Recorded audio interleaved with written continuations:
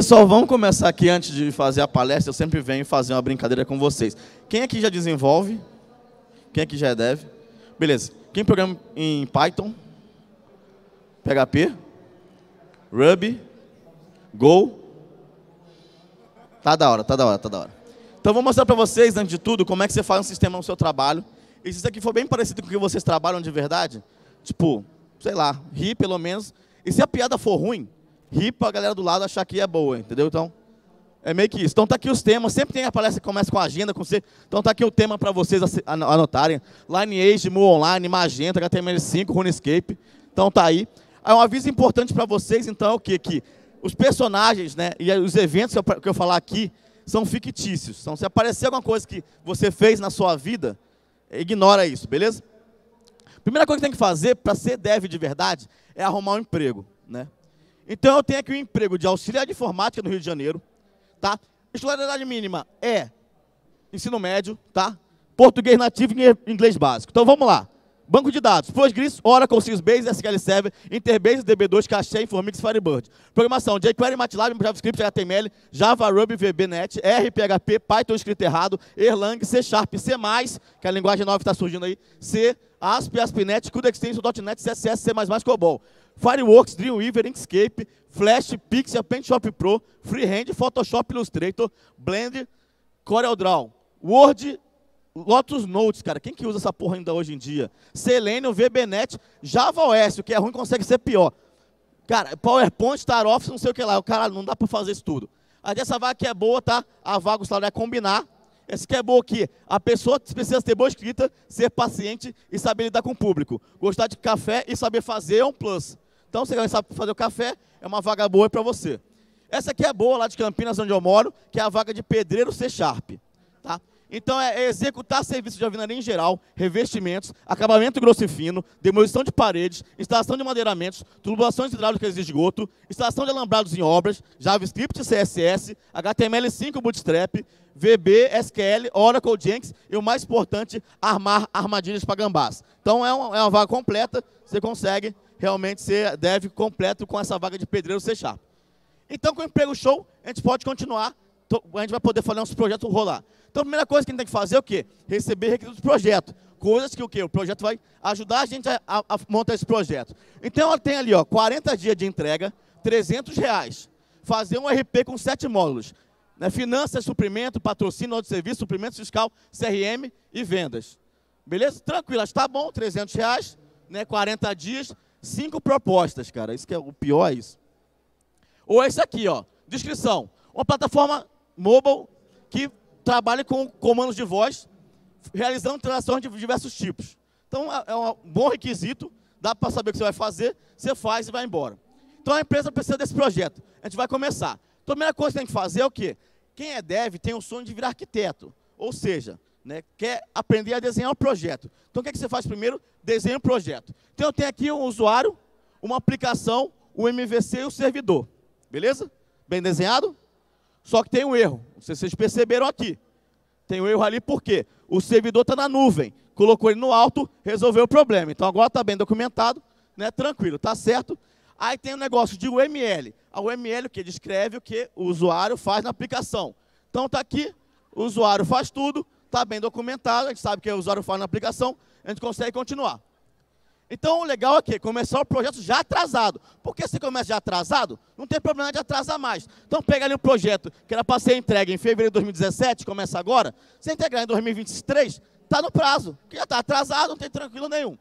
Aí depois, outras coisas aqui, quem é front-end aqui? Sabe que tem que fazer depois, que é ajustar o front-end. Então, você vai perder um tempo instalando o pré-processador de CSS, você vai perder um tempo desinstalando o pré-processador de CSS, vai baixar o Bootstrap e vai ser feliz. Beleza? Outra coisa, gerenciar a dependência. Então, tem que gerenciar a dependência. No front-end é muito fácil fazer isso. Você dá um NPM install internet e toda a dependência que você precisa vai estar no seu projeto.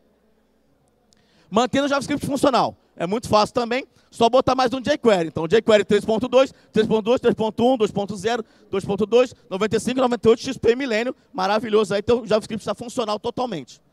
Escolher um framework, então pode escolher vários frameworks de JavaScript aí. Tem alguns aí novos para vocês escolherem aí. Tibia.js, Triangular, JDouble, pode escolher Aerolito também é bom aí para galera poder rodar bem no jQuery. Performance é uma coisa que a gente tem que ter na aplicação. Aplicação sem performance não funciona. Então, aprendo para vocês, cache everywhere. Então, você bota cache no cliente, no back do end, no front-end, cache do cache, cache na, em tudo. Botou o cache, resolveu, o cliente sempre vai ver a, a melhor fase da tua aplicação. Ou então promise. JavaScript inventou a de promise, que é uma vez vai chegar a requisição. Quando? Não tem a mínima ideia. Pode ser amanhã? Pode ser. O cliente pode esperar, não tem problema nenhum. Se chegar só amanhã, está lá, tá promessa está feita. Então depois é o quê? Escolher a tecnologia back-end. Então, para não ter briga, a gente pergunta para quem? Para o Google. Então, por que Java? Porque Java é ruim. Por que aprender Java? Por que C Sharp? Porque C Sharp é melhor que Java. Por que C Sharp não Java? Por que PHP? Por que PHP é elefante? Por que PHP necessita de servidor? Por que Python? Monte Python que anete os romanos por nós outros. Por que Ruby? Por que Jack Ruby matou Oswald? Não sei. Por que Elixir? Porque os alquimistas não conseguiram Elixir da vida. Que coisa bonita. Ah, linguagem boa. Por que Go? Porque gostaria de trabalhar na Decathlon. Porque gostaria de fazer parte da galera Capricho. Por que ASP? Por que aspirina aborta? Tenho a mínima ideia. Por que aspirina alisa o cabelo? Eu fico imaginando uma pessoa pegando aspirina. Ô, oh, alisa, Google, tá aí. Porque Perl não foi implementado ainda, galera, em breve está chegando aí. E Node não é linguagem, também não entra aqui então. API, API é o que faz a comunicação entre o seu sistema né, e o outro sistema. Então, sempre retornar 200 ok. Se tiver erro, erro retornado com sucesso. 200 ok, tá bem, nossa API está tranquila. Outra coisa que a gente saber é o quê? Erros devem ser bem explicados. Então, Java Lang no point exception. Muito bem explicado. Todo mundo entendeu o erro, consegue produzir bem aí. E usar bem os verbos HTTP, também que é muito importante. Né? Então, como é que a gente implementa login e senha usando bem os verbos HTTP? Então, eu tenho o post, que eu passo um get usuários, eu passo a senha e o usuário no get, ele me devolve a tabela toda em JSON. Então, está bem, bem feito. Passei um usuário qualquer, beleza, me devolveu todo mundo, está tranquilo, a API está bem feita, a gente pode continuar a brincadeira. Implementando funcionalidades. Sem funcionalidades, não tem sistema. Então, a primeira coisa é fazer o CAPTCHA para acabar com os bots, porque os bots, hoje em dia, atrapalham demais. Então, tem aqui um CAPTCHA, onde o bot jamais vai saber onde está o conteúdo do CAPTCHA. A menos que ele saiba ler HTML. Mas muitos bots não sabem fazer isso. Formulários bem desenhados, para ter uma UX muito, muito perfeita. Então está aqui um formulário de telefone. Você pode implementar no seu projeto muito tranquilo, dá para você usar tranquilamente. E senhas únicas. Essa é outra coisa que a gente sempre tem problema. Senha tem que ser única. Por quê? Eu tenho aqui né, a conta Space Moses 111337. Ele quer tentar usar a senha Hunter. Só que o Roel Aldo 37189 já usa essa senha. Então tu não podia fazer isso. Mas você pode colocar ali, ó, eu entendo os riscos de usar a senha de outra pessoa. Assinalou ali, pode usar a senha, tá tranquilo, tá liberado, todo mundo sai feliz. DevOps, DevOps, né? É o que vai manter também a coisa boa do seu sistema. Então garantir o acesso do servidor aos arquivos é muito importante. Então tá aí o código para você aprender a liberar o acesso do servidor aos arquivos, né? Tranquilo aí, todo mundo já já fez isso na vida. Versionando o seu projeto, então, versionar é, é bem simples, né? V1.0, 1.1, 1.2, 1.0, final realmente final e Z realmente final. O pessoal fala, pô, Pokémon, hoje em dia tem Git, tem GitHub. GitHub todo mundo vê seu projeto. E o Git é pago. Quem pagou pela licença do WinRAR? Fica, aí, tem, sempre tem alguém que pagou. Só você, cara. Todo mundo, infelizmente, o mundo nunca pagou isso. Ou usar FTP para garantir a consciência dos seus arquivos. Então tá o FTP tranquilo, né? Bem legal. Ou então você usa pendrive, está na máquina do cliente, todo mundo sai feliz, e é isso aí. Resultado cliente feliz e o seu projeto está entregue. Valeu, galera. É isso aí, nosso stand-up de começo, para animar um pouco vocês ou desanimar para cacete. Beleza? Então, é... Primeiro, boa noite para vocês. É... Meu nome é Pokémon, para quem não me conhece, tá? E para quem me conhece não muda, é Pokémon também. É... Eu não sou só um rostinho bonito, até porque eu não sou um rostinho bonito, tá? Eu sou bacharel em matemática aplicada e computacional pela Universidade Federal Rural do Rio de Janeiro. Então, sim, minha turma era eu, um veterinário e uma cabra.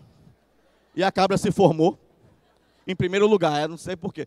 Mas até hoje tem raiva dessa cabra. Mas eu tenho MBA em Engenharia de Software, orientado para serviço lá pela Metrocamp de Campinas e BTA.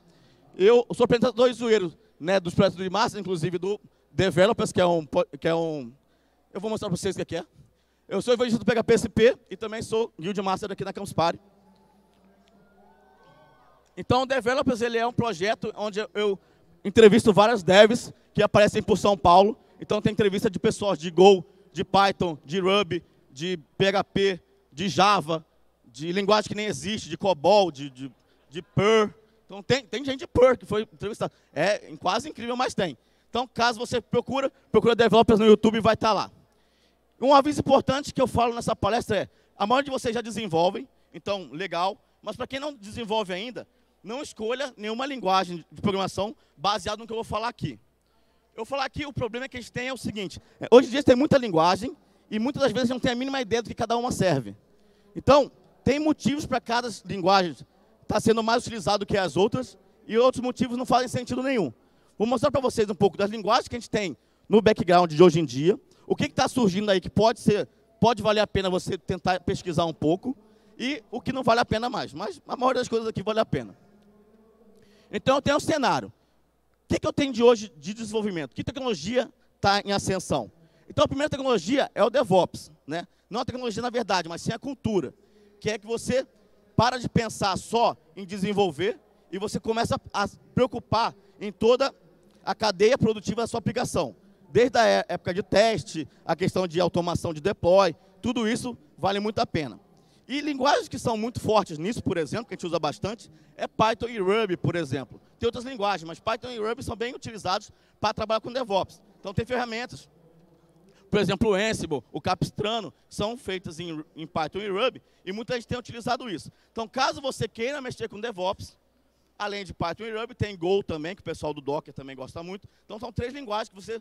Ah, quero mexer com DevOps, o que eu tenho que aprender? Go, Python e Ruby, basicamente. Serverless. Serverless é a ideia de que você tem uma função, que você vai chamar aquela função em algum lugar, e essa, e essa função vai te devolver só o resultado dela. Então, por exemplo, eu tenho um carrinho de compra e o meu carrinho de compra, às vezes, é, ele demora muito para fazer o checkout, que é a parte mais importante do meu, do meu e-commerce, por exemplo. Então, eu posso fazer uma função que ela roda na nuvem, ela só vai ser executada quando alguém fizer o checkout, ela vai nascer, vai fazer a execução dela e ela vai morrer e te devolve o resultado. Isso é o serverless. Só que uma linguagem que é muito importante, que é muito igual isso, por exemplo, é o PHP. O PHP, quando você faz uma requisição, ele nasce, ele faz a requisição e ele morre. Tá? Mas outras linguagens, como JavaScript, por exemplo, são bem utilizadas para servers, o próprio Java. Você tem né, é, coisas em Python também, tem Ruby, mas em geral são essas linguagens que você vai fazer servers. E Go também, que é muito legal, porque o Google Cloud Functions, por exemplo, funciona muito com Go. Você tem C Sharp também na AWS Lambda, no, no Azure Functions, na verdade. No AWS Lambda você tem quase todas as linguagens do mundo para fazer serverless. Então, essa é outra coisa muito importante, está sendo muito utilizado hoje em dia. Outra coisa que a gente acabou de falar na palestra anterior, que é o desenvolvimento cross-platform ou nativo. Né? Então, nesse caso, cross-platform, você vai fazer com que você use uma linguagem só e consegue servir aplicativos móveis para qualquer, ou iOS, ou Android, ou Windows Phone, não, deixa para lá. Mas então iOS ou Android, então você tem o Ionic o Electron Cordova e Quasar, que são em JavaScript, React Native e NativeScript em JavaScript, o Xamarin você pode usar C Sharp, e você tem o Flutter, que você usa Dart, que foi a, até a palestra anterior. PWA é outra coisa legal, porque ele faz com que você consiga criar sites que também são versões móveis. Então você pode usar qualquer linguagem que serve para back-end no, no, na web, tipo Python, PHP, Ruby e tudo mais, e também usar JavaScript e fazer o seu PWA. Então você vai poder trabalhar com o seu front-end no JavaScript, fazer tudo que ele, você consegue fazer com uma PWA, mas você consegue usar um back-end legal em qualquer outra linguagem por trás. Então, é, é, dá força para linguagens tradicionais. Machine Learning Data Science é uma coisa mais na moda, vamos falar assim, né, que todo mundo quer saber o que é, quer trabalhar com isso. Então, linguagens como Python, Julia e R são linguagens muito boas para trabalhar com esse tipo de coisa. Por quê? Porque elas são linguagens matematicamente precisas. Não é que elas são linguagens rápidas nem tudo mais, mas elas são matematicamente precisas. Se você pegar um Python, por exemplo, e quiser fazer uma, a vigésima casa decimal do número float, né, de um float, você consegue retornar isso em Python. Em outras linguagens, como JavaScript, por exemplo, você não consegue retornar a terceira ou quarta casa com precisão. Então, essas linguagens são boas porque elas são precisas matematicamente. E como é, o Machine Learning basicamente é estatística, você faz bons cálculos com isso. Outra coisa legal é que essas linguagens são linguagens criadas não necessariamente para quem só é dev. Então, muita gente que não é dev, como estatísticos, ou médicos, ou pessoas de, de jornalistas, eles utilizam o Python, por exemplo, que é uma linguagem fácil de aprender, para fazer as suas análises. Então, além de elas serem matematicamente muito precisas, elas são linguagens de falsa aprendizagem. Serviços cognitivos. É o que a gente chama basicamente de chatbot ou outro serviço que você fala, uma Alexa da vida, ou um Google Home e tudo mais. Nada mais é do que algo que você vai escrever um texto ou falar uma frase e ele vai retornar para você uma função sobre aquilo que você fala. Por exemplo, vai pergunta para o chatbot, ah, o que você consegue vender, ele te devolve as vendas disso. Qualquer linguagem você consegue fazer isso, então não tem nada específico. Falar, pô, essa linguagem que é melhor para usar serviço cognitivo. Até porque não vale muito a pena você fazer um serviço cognitivo do zero. Então tem muita plataforma que é de graça, você consegue utilizar ela. Então qualquer linguagem que tenha acesso a API REST, você consegue fazer coisas de serviço cognitivo. GraphQL é outra coisa muito nova e muito utilizada, que é a questão de você ter mais uma forma de fazer API, só que as pesquisas são muito mais densas. Então, JavaScript é uma linguagem que é muito poderosa para GraphQL, até porque quase todo mundo que faz GraphQL usa JavaScript. Mas qualquer, novamente, qualquer linguagem que tenha acesso a HTTP, qualquer linguagem que faça regressão HTTP, você consegue utilizar para mexer com GraphQL.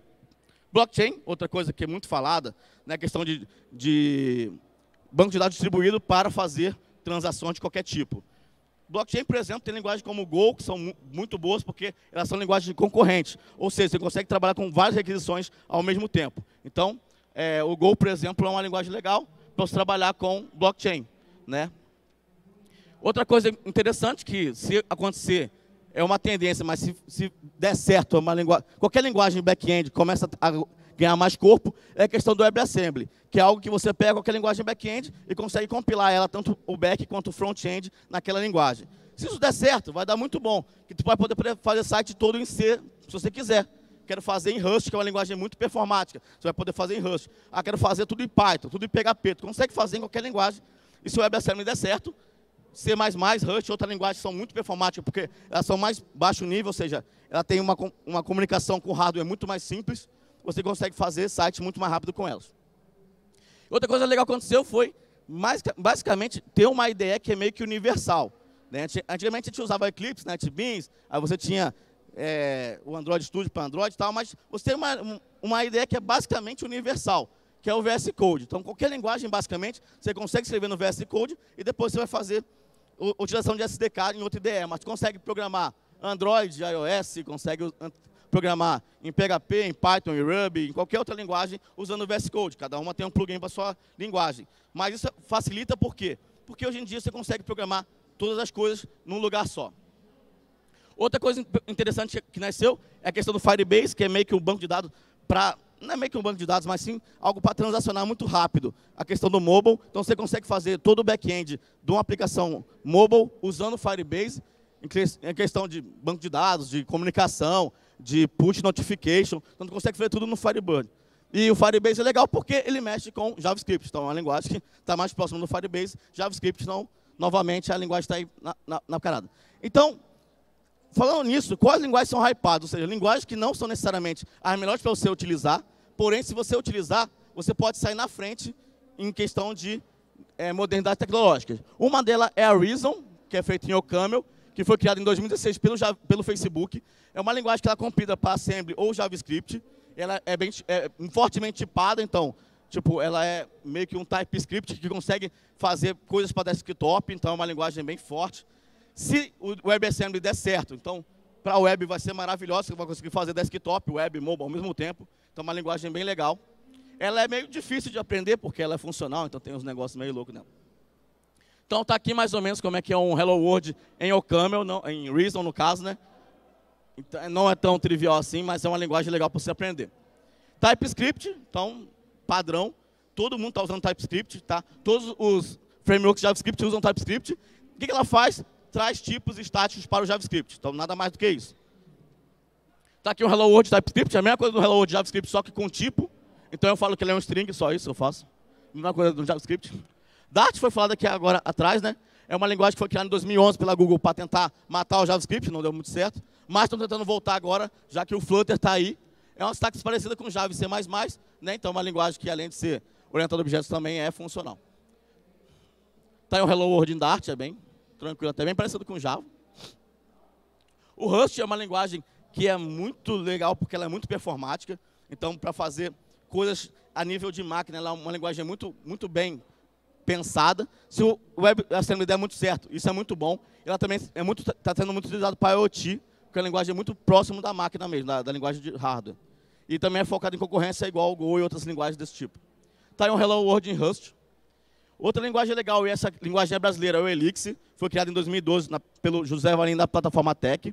É uma linguagem que é funcional, ela é tolerância a falhas, também é concorrente, então é uma linguagem que foi feita para resolver alguns problemas que as linguagens não pensavam. Porque se eu for para pensar, as linguagens, a maioria das linguagens web foi criada 90, entre 91 e 2000, vamos falar assim. C Sharp foi criado em 99, PHP e JavaScript em 95, aí teve Python e Ruby em 91 e 94.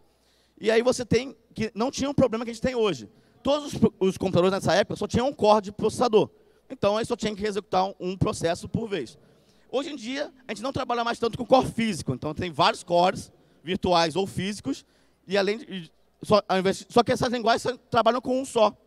E eu tenho, tipo, 8, 16. Então, essas linguagens, como o Elixir, o Go e tudo mais, ele trabalha para melhorar a performance da sua aplicação, utilizando os cores todos da sua linguagem, do seu, do seu hardware.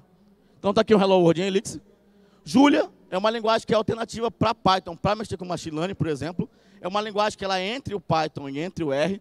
Então, ela, ela é uma, tem tipagem dinâmica, ela consegue utilizar funções do Python embedado nela, e é bem, o poder matemático dela é muito melhor do que o Python. Está aqui o Hello World em Julia. E aí, a partir disso, as linguagens clássicas, ou seja, linguagens que a gente já trabalha há muito tempo, que ainda vale a pena você estudar e tudo mais. Por maioria de votos, obviamente, JavaScript é uma linguagem que eu recomendaria mais você estudar, porque você consegue fazer front-end, back-end, mobile, qualquer coisa que você quiser, desktop, né? Você tem o Electron para fazer desktop, você tem o Ionic para fazer coisa híbrida, você tem o React Native, você tem várias coisas você consegue desenvolver para tudo. Então, basicamente, 100% da web usa JavaScript. Quem não usa JavaScript, usa Flash. Então, você dá para ver como é que tá bom o bagulho aí. Ou Code Fusion, não sei se vocês lembram, né? Code Fusion também está aí em 0,3% da web. Python né, é uma linguagem que você consegue fazer web, console desktop também, muito utilizado para data science e machine learning. Então, se você quiser é, se aprofundar nisso, é uma linguagem que você tem que estudar. Tá? Também é muito boa para a rotina de cibersegurança, então tem questão de querer mexer com invasão, com teste de brute force, é uma linguagem legal para você aprender também. YouTube usa Dropbox, Google, Spotify e outras, outras empresas também.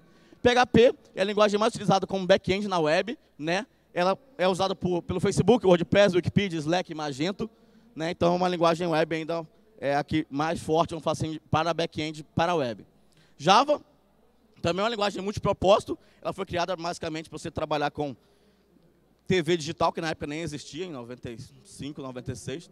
E ela foi criada para isso, só que o pessoal corporativo tipo, embendou ela. E, então, se você quiser fazer clientes corporativos, a maioria das vezes você vai ou mexer com Java ou com C Sharp, né? E, e, também era a linguagem oficial para escrever aplicativos para Android. Hoje em dia não é mais, hoje em dia é Kotlin. Netflix usa Instagram, Net, NetBeans e o, o eBay. C Sharp, então, é outra linguagem também com propósito mais, vamos falar assim, é, vamos falar, não é, não é acadêmico, mas assim, é, é mais empresarial, mais desse tipo. A Microsoft usa o Bing Stack Overflow. Então, é uma linguagem também que você consegue fazer web, console, desktop. E C Sharp também é uma linguagem legal para você fazer aplicativos tanto pra, de jogos para mobile ou desktop, por exemplo, usando a, o Unity. Então, muita gente usa C Sharp para isso.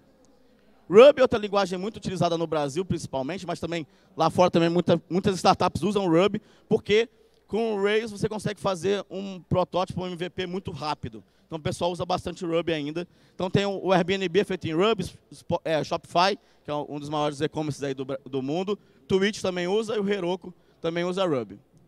Kotlin, né, hoje em dia, é a linguagem padrão para desenvolvimento para Android. Então, Kotlin é uma linguagem, você consegue trabalhar com front, com back, com mobile, também console desktop, ela é uma linguagem também para múltiplas coisas. É a linguagem oficial para Android e foi uma, uma linguagem criada pela JetBrains, que criou vários, várias ideias legais, como WebStorm, PHP Storm e outras ideias muito massas aí, como o IntelliJ, por exemplo. Então, Swift é linguagem hoje em dia nativa para iOS, então é uma linguagem criada pela Apple para fazer aplicativos iOS. Go é uma linguagem também concorrente, criada pela Google, né, para resolver problemas de concorrência que as outras linguagens não tinham. O Docker usa, o Google usa e o Medium, por exemplo, também usa Go. C e C++ ainda são linguagens que são utilizadas para fazer trabalho mais baixo nível, mais é, a nível de hardware. E muitos jogos são feitos em C++, por exemplo, o Tibia, que é um jogo né, altamente aí competitivo, é feito em C++. Elas são muito próximas à linguagem de máquina, então a performance dela, em questão de gerenciamento de memória, em questão de utilizar vários cores, é muito bem, bem trabalhado com C e C++. Eu falo, pô, você trouxe isso aí, um monte de linguagem nada a ver. De onde você tirou essas linguagens? Como é que está funcionando, na verdade, isso tudo?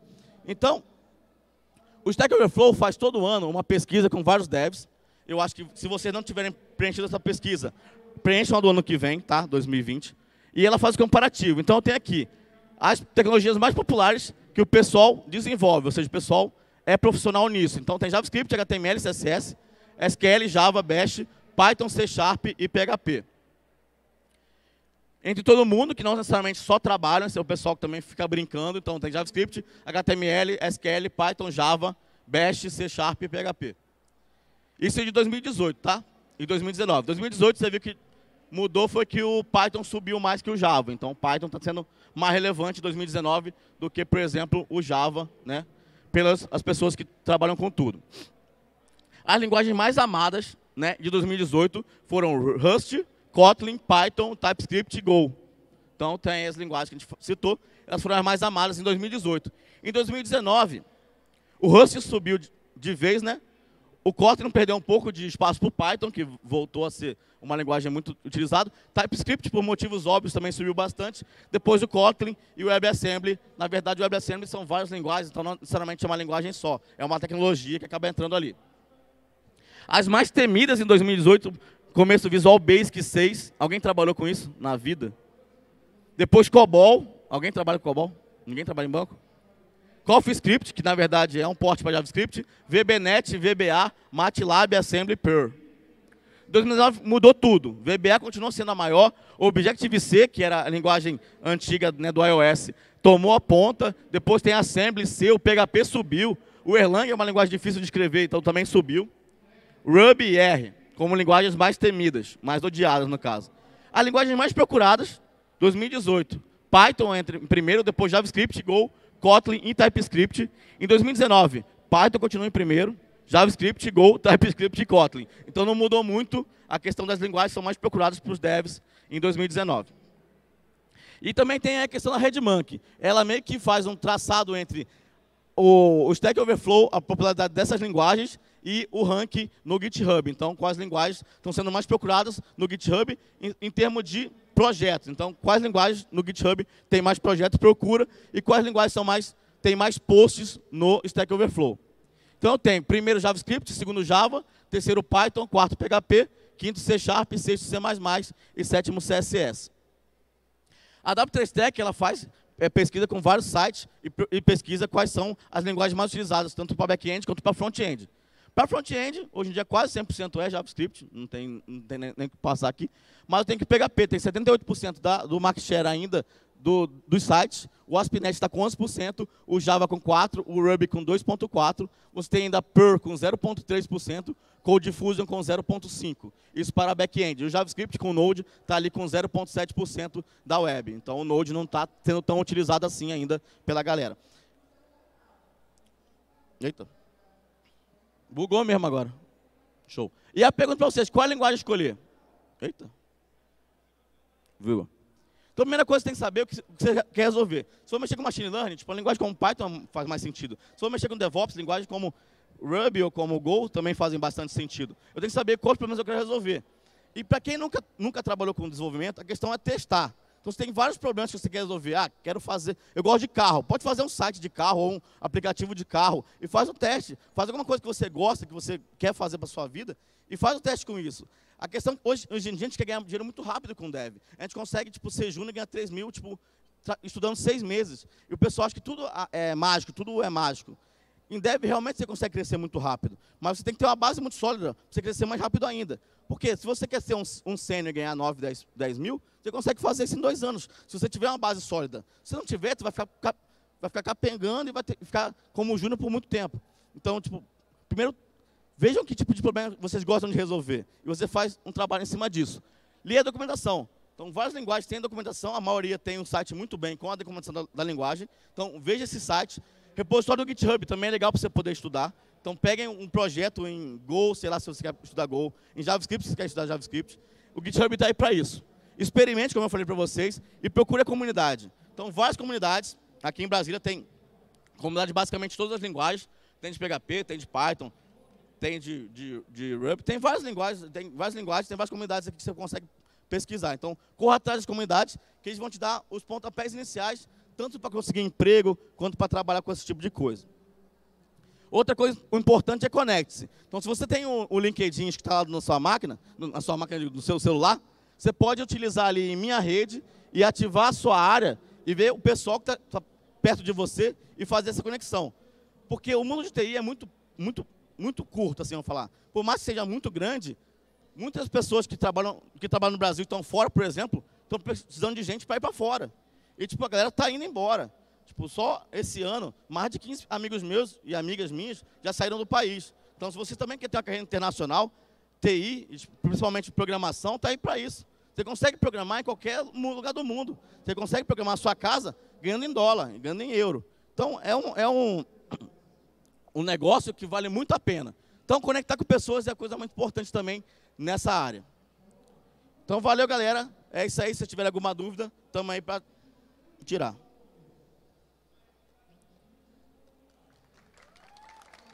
Valeu.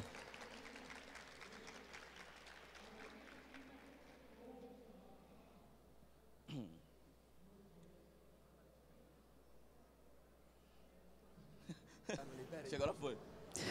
Oi. Eu vi que você mostrou o top de linguagens e vi que o Python estava em primeiro.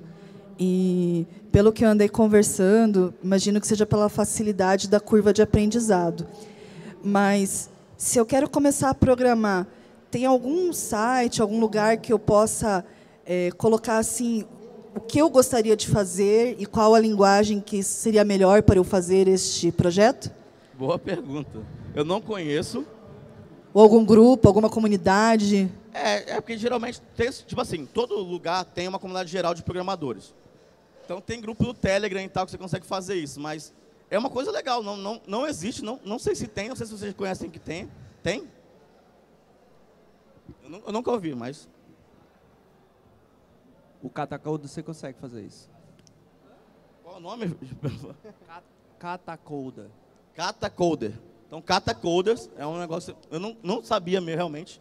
Legal, não sabia que existia isso. Mas realmente. Muito cada, obrigada. Cada linguagem ela tem uma especificidade. E o Python está aí também pela curva de aprendizado. Também porque o pessoal está se preocupando muito com machine learning e com, com inteligência artificial como um todo. E é uma linguagem que não é só para dev. Então, quem não é dev consegue aprender. Isso. É, boa noite. Boa eu, noite. eu não, não vi se, eu, se, você falou sobre isso. Microserviço é, tem uma linguagem que está sendo mais usada hoje? Cara, microserviço, a ideia dele é exatamente não ter linguagem para você trabalhar. A ideia do microserviço é exatamente você separar a tua lógica de, de negócio em qualquer linguagem. Então, tipo, vamos falar assim, a comunidade de Java fala muito sobre microserviço, mas não é uma coisa tão atual, falar assim. Se usa muito, mas tem um serverless que é a ideia do microserviço melhorada, que é, além de ser um microserviço, é só um serviço. Então você tem um microserviço que às vezes você vai, faz um monte de coisa, junta com o banco que já está lá, então não é muito bem. Mas Java, por exemplo, é uma linguagem que se fala muito em microserviço. Porém, a ideia do microserviço é exatamente não ter uma linguagem. Então, se eu quero fazer um microserviço em Go, porque eu tenho um serviço específico que precisa de concorrência, eu vou fazer em Go. Mas qualquer linguagem você consegue fazer microserviço. Então, não tem nenhuma linguagem que é mais é, melhor para microserviço. Depende muito do seu serviço, que é a mesma coisa do server. Depende muito do que você quer fazer como função. Boa noite. Beleza? É, eu queria fazer uma ressalva na pergunta dela. Tá. Primeiro, para falar que tem um PyLadies aqui atrás. Show. Se quiser aprender Python. E segundo, que eu vi esses gráficos do Stack Overflow e a crescente do Python não, não é não é graças ao crescimento do Django ou do Flask para desenvolvimento web. Então, Exato. quem quer desenvolver web, eu não acho o Python mais recomendado, porque a crescente do Python é basicamente pelo, pela explosão do machine learning e do big data. Então, acho que se você quer começar a aprender a programar e quer entrar no mercado, eu acho que a melhor hoje é JavaScript. Concordo contigo, perfeito. Tanto que ela é a primeira linguagem que a gente fala. Realmente, o JavaScript você consegue fazer muita coisa muito rápido. A questão, esse é um, é um grande vantagem, mas é um grande problema. Porque você consegue fazer muita coisa e visual. Exato. É, quando você vê as coisas muito rápido, tipo, não é tão bom assim. É, o JavaScript é uma linguagem muito boa, porém, ela é muito desorganizada. Então, para quem está começando, ela é boa porque você vê o resultado muito rápido, mas ela é ruim porque você nunca vai, talvez, aprender a programar de verdade. A realidade é essa. Se vocês quiserem me seguir, arroba PokémonBR em qualquer lugar. Tem tempo para alguma coisa ainda? Já acabou o tempo? 15. Então, já que o JavaScript é a melhor linguagem do mundo, ou eu não acho, basicamente, mas eu vou... Não, eu vou falar, eu vou, deixa eu ver aqui o um negócio rapidão. É que aqui tem sempre uma parada da hora. Mas eu vou mostrar para vocês como é que você entrega duas linguagens, que é o Go com PHP. Alguém imaginou como é que você consegue fazer? Você consegue fazer aqui, com, vou mostrar para vocês agora, rapidão. Três minutinhos para vocês irem embora para casa. Então tá aí a grade, se você quiser anotar a grade aí da palestra tá aí. Né? Um aviso importante, é o mesmo aviso que eu já passei para vocês, então não vou repetir. Né? Então eu queria falar para vocês como é que você vai fazer a integração de Go com PHP. Mas eu acho que eu não sei de Go o suficiente para isso, então eu vou falar sobre o Go que eu conheço, que é o Go Host Process aí, para quem não sabe, como é que você faz seu projeto muito bem feito em Go. Então o princípio do Go Host. Pensou, não é Go Host. Porque se você pensar, né, acaba a parada. Go Host não tem prazo, então entrega de qualquer jeito. Não existe refaturação, apenas retrabalho. Go Host nem sempre é POG, porque POG você tem que pensar. Go Host você não pensa. Se está funcionando, não mexe, que é o princípio do não rela. Então está funcionando, deixa do jeito que está, tranquilaça aí. Fluxograma fundamental do Go Host. Começa, faz de qualquer jeito. Funcionou, entrega. Não funcionou, tem tempo ainda, Faz de qualquer jeito. Funcionou, entrega. Então, beleza. Tá aí bem feito aí o negócio. Então, como é que eu faço para integrar Go, o Go Host com PHP? Primeira coisa, escolher a vaga Go Host. Então, já mostrei para vocês essa vaga. E com isso, você já pode aplicar né, as coisas secretas do Go Host. Primeira coisa, começar um projeto atrasado. Eu te falo para vocês que é uma técnica muito boa do Go Host. Ser full stack, ou seja, né, PHP com JavaScript, com HTML, com tudo ali no mesmo coisa o stack aí perfeito, tranquilo, dá para você fazer tudo. Só baixar o template e mudar né, o conteúdo. Então tem ali, janeiro, troquei para fevereiro, já bota o site no ar, tá tranquilo, já está muito bem feito aí. Facilitar o acesso aos arquivos, já mostrei para vocês como é que faz isso. Criar a página estática e mostrar como estivesse funcionando. Então tem aqui um login e uma senha. Login, ó, welcome Pokémon BR, tá show. Aí o código, se, tiver, se não tiver, se tiver setado o login e tiver setado o password, então eu compro Pokémon BR, tá tranquilo. Isso é bom que o cliente, quando olha, pô, tá, tá funcional. Perfeito. Então, se entrar o cliente novo, você colocar mais um if. Então, tá ali, cliente 1, se não cliente 2, se não cliente 3. Mas você pode retrabalhar e colocar suíte, que você consegue colocar muito mais cliente. Então, caso cliente 1, cliente 1, caso cliente 2, cliente 2, caso cliente 3, cliente 3. Configuração única para facilitar a integração, muito bom quem pega perfeito fazer isso. Max Control Time 99999. Post Max Size 4 GB. Memory Limit 4 GB. Max Input Time 99999. E o Max Upload File também 4 GB. Tranquilo. Não confia em classe, essas classes são malditas. Por quê? Eu tenho uma classe, que é a nova classe, eu tenho dois atributos privados, que é o name e o cell phone escrito errado. Então eu tenho a função construtora, que eu não passo nada, eu tenho que verificar se o name é nulo, então ele é nulo, senão ele é nulo. E se o fone é nulo, então ele é nulo, senão ele também é nulo. Para garantir que a classe está realmente né, inicializada corretamente. Implementa a função que já existe, porque muitas pessoas falam, quanto mais código, mais trabalho você tem. Então você cria uma função que é a new date, passa a data igual a data, então segundo é igual a data, minuto é data de 60, Dias é dado dividido por 60 por 24. Mês é dado por 60 por 24 por 30. Anos é dado por 60 por 24 por 365. Décadas é data por 60 por 24, 365 e 10. E você retorna a data que é igual a data. Então, perfeito.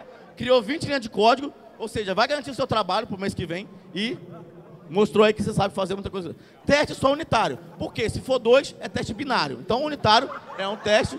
Se for dois, binário. Eu pego ali o meu site e eu dou um application, passo ela. Eu passo o site do Get File Content se tiver conteúdo, ele funcionou. Se não tiver, não funcionou. Tá tranquilo. Mantenha a equipe integrada, ou seja, sempre mostre para a dev que como importante ele é para a equipe. Então, olá, dev, Se você tentou fazer a otimização dessa funcionalidade e infelizmente teve essa péssima ideia, incremente o contador abaixo para alertar a próxima vítima que vai ter que mexer nessa merda. Então tá aqui as horas gastas no projeto, 289, e você tem uma função que resolve bug, você passa um bug, ele te retorna mais bugs. Então, tranquilo. Né? E o coisa legal em PHP, como vocês sabem, é código fonte, né? É open source, então todo mundo consegue ver seu código. Então tem aqui o PHP Obfuscator. Você bota o seu site aqui e você clica ali em obfuscar, o cliente nunca vai saber onde foi ofuscado o seu código. Então ele nunca vai saber onde é o seu código. Valeu, galera, é isso aí. Obrigado. Sábado tem mais, meio-dia aqui lá no, lá no Field the Future. E vai ser só stand-up, então quem gostou, vai. Quem não gostou, vai, porque aí faz, faz inveja de quem gostou. Então, foda-se aí. Valeu, galera, até a próxima.